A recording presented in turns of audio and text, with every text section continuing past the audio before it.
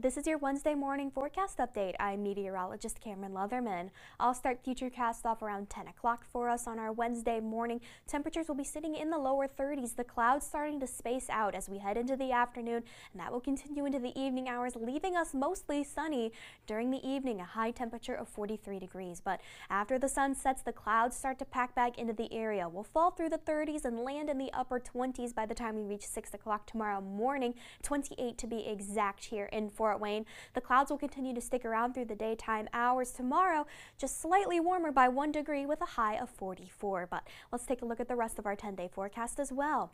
45 on Friday, 49 on Saturday. We're in the 50s as we head towards the end of the weekend. 56 for our high temperature on Christmas Day. It really won't feel like Christmas outside at all. 52 on Tuesday. We're back into the 40s on Wednesday with a high of 49. 40 on Thursday and 38 a week from Friday. That's your latest forecast.